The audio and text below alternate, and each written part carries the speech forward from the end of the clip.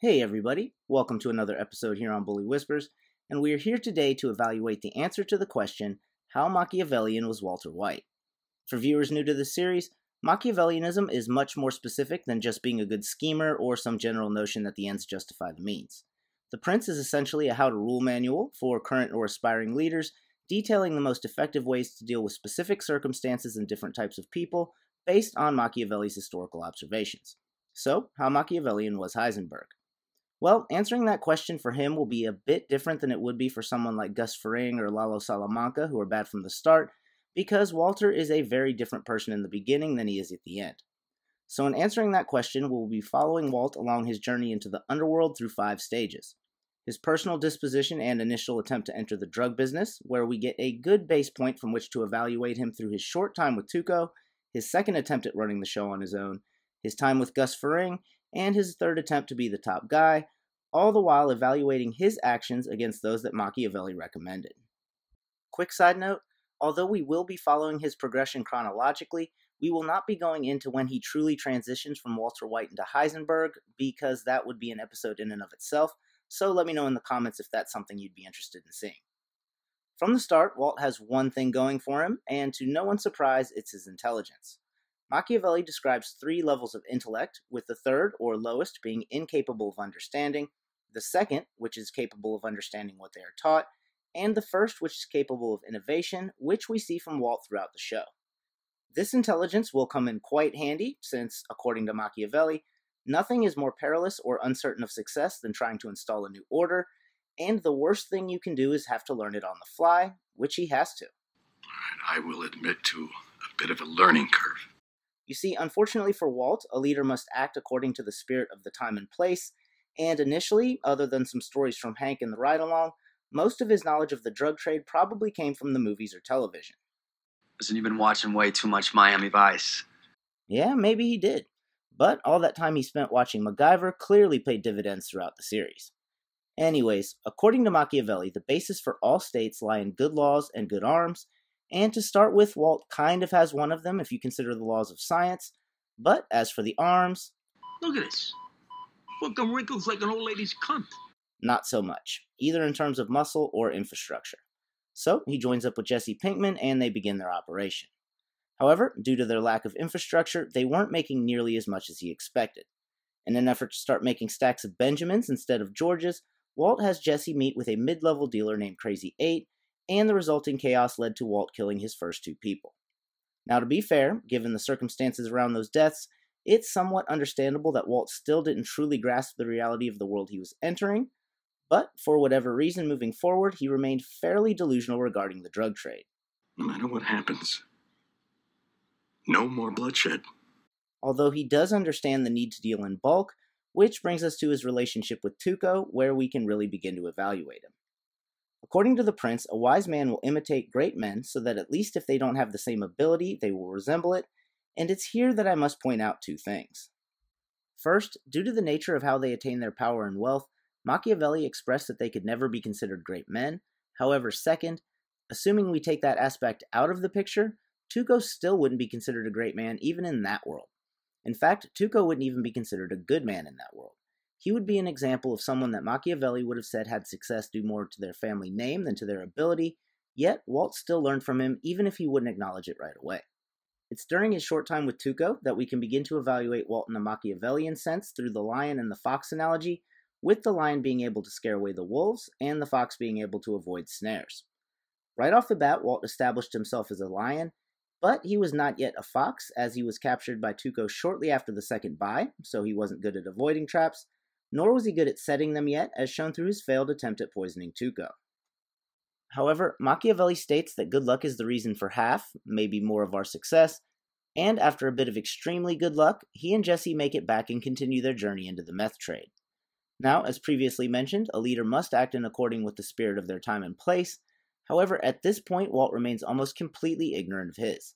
He still plans on selling larger quantities moving forward, but without working with any other mid or higher level guys, which of course would put him in competition with those guys, but he will find that out later. Things were going well until Spooge robs Skinny Pete, at which point Walter begins to understand that violence will be necessary. You think Tuco had breakage? I guess it's true, he did. He broke bones. And this is especially true to start. According to Machiavelli, nothing wastes like liberality, for the more you use it, the more you lose the ability to use it, and you will eventually end up broke, disrespected, or hated. I've got another technical term for you non sustainable business model. Yeah. I mean, seriously, what the hell do you want me to do? You ask me what I want you to do.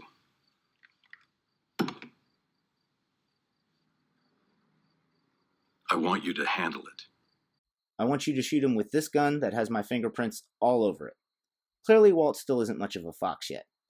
Now, to be fair, for a brief moment between when he knew Spooge had been killed, but before he knew Jesse didn't do it, he did try to say he meant just threaten him, but personally, I think he was just backpedaling after the fact because he still hadn't fully accepted what he was a part of. Let me know what you think down in the comments. Either way, Walt learns the value of being feared after word spreads that it was Jesse who killed Spooge. It keeps people in line. Which brings us to possibly the most famous Machiavellian question of them all is it better to be loved or feared?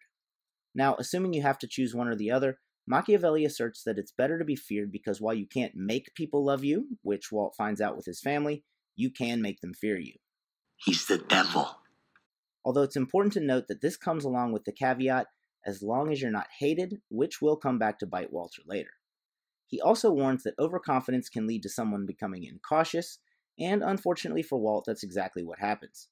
Emboldened by their fearsome new reputation, an aggressive expansion begins, but after a Combo is shot, Walter realizes they need help. We need a proper infrastructure. We need foot soldiers and we need dealers on a street level that are rock solid. We need muscle. According to Machiavelli, if you are incapable of self support and must bring in outside assistance, it becomes increasingly important that you take care of your friends, which we see Walt do, or at least try and appear like he is doing with Jesse throughout most of the series. This becomes especially important under Gus Fring, and it's under Gus Fring that Walt really starts becoming Machiavellian. Now, one of the main reasons for taking care of your friends in this situation is to prevent outsiders from gaining a foothold with them, but we will get back to that in a bit. It's during his time with Gus Fring that Walter really turns over the Machiavellian leaf in terms of both understanding the spirit of his time and place and learning to be a fox, both of which can be seen when he confronts Gus about Hank's assassination attempt. And more than that, I respect the strategy. In your position, I would have done the same. And when given the opportunity, he did do the same thing. He used the poisoning of Brock to turn Jesse against Gus, but in his case, it was especially Machiavellian since he was the one who actually poisoned Brock. Had Walt not been able to pull that off, he would have become a prime example of why you should prevent outsiders from gaining a foothold with your allies. Because if they are strong, people will naturally flock to them, which he saw Jesse doing with Mike and Gus. Gus had begun successfully separating Walt from Jesse while bringing Jesse closer to him, and after Jesse had proven he could run his own lab in Mexico, Walt truly was expendable to Gus. Walt almost becomes a prime example of the problem the prince warns could befall those who bring in a stronger force for assistance. However, thanks to his trickery, he was able to use information gained from Jesse to take Gus out. At this point, Walt makes his third attempt at being the top guy, though he tries to frame it as a partnership. He makes the majority of his fortune and was about to walk away free and clear, but Machiavelli warns of overconfidence and. This genius of yours. Maybe he's still out there. Was just enough to keep Hank active on it, where a mispoorly Placed book connected the dots. From here, he is mostly trying to avoid capture and then seek revenge, so he's not trying to gain or maintain power, which leaves very little to evaluate from a Machiavellian standpoint. However, he does find out why Machiavelli warns against using mercenaries in a situation like this. Todd, I think I might have another job for your uncle. Given the opportunity, they will take what you have taken for themselves, which ends up costing Walt six barrels full of cash. Could have been all seven, but they decided to give him one back. At the end of the day, while Walt wasn't the most Machiavellian character in the Breaking Bad Better Call Saul world, he did progress remarkably far down that path, considering he was trying to do the hardest thing imaginable, establishing a new order, in the most difficult way possible, by learning on the fly.